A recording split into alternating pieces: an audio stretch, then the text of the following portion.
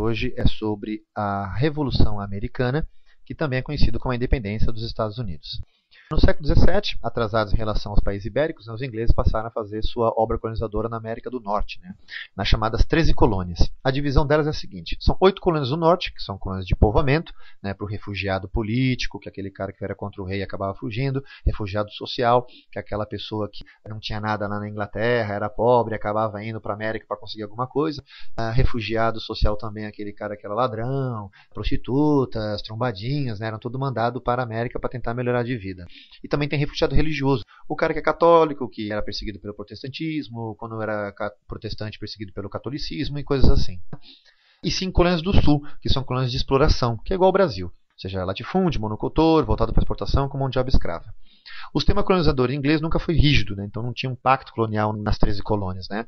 E, essa, e guerras exauriram um pouco o erário inglês, né? guerras que a Inglaterra se meteu, como a Guerra dos Sete Anos. A coroa volta-se para suas colônias na América procurando o quê? Procurando enriquecimento. Né? Pô, nós temos colônia, pensa aqui nos ingleses. Nós temos colônia, nunca cobramos taxa deles, né? vamos começar a cobrar taxas. Né?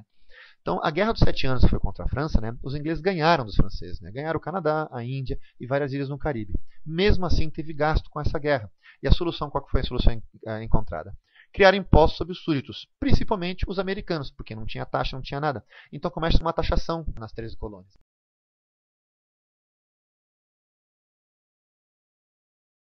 A reação foi forte. Como eles não possuíam representante junto ao parlamentarismo inglês, inclusive a fase do Thomas Paine, né? no taxation without representation, né? ou seja, sem taxação, porque nós não temos representação. Ou seja, você não pode botar imposto na gente, porque a gente não tem deputado para defender nosso interesse. Né? Essa é a ideia do Thomas Paine. Né? Então, o que aconteceu? Eles não tinham representante junto ao parlamento, começaram a reclamar, e começaram a fazer boicote dos produtos que foram taxados, né? e substituir como possível e começaram a ter alguns conflitos armados, né, entre eles com o massacre de Boston de 1775. A taxa sobre o chá gera um outro movimento, que é o The Boston Tea Party, né, a festa do chá de Boston, da cidade de Boston. Por isso que é melhor falar em inglês, The Boston Tea Party, certo? Onde os colonos fantasiados de índios né, jogaram o chá no mar. Ou seja, eles não queriam saquear a carga, eles queriam, não queriam o chá com imposto. Qual foi a reação do parlamento? As chamadas leis intoleráveis, uma série de leis que foram feitas em cima dos colonos, né? entre elas o fechamento do porto de Boston até o pagamento da carga, toque de recolher, aquartelamento forçado nas casas dos colonos, tipo, não tinha quartel lá em Boston, né? então colocaram ah, os soldados na casa dos colonos. Né? Lei do motim, onde mais de quatro pessoas juntas seriam presas por motim. Então, tudo isso gerou o quê? Gerou um descontentamento nas colônias. Né? Então, para isso foi feito o primeiro Congresso Continental da Filadélfia, pedindo o fim das leis intoleráveis. E é claro que o parlamento inglês deu de ombro, não falou nada. Né? Então, foi feito o segundo Congresso Continental da Filadélfia.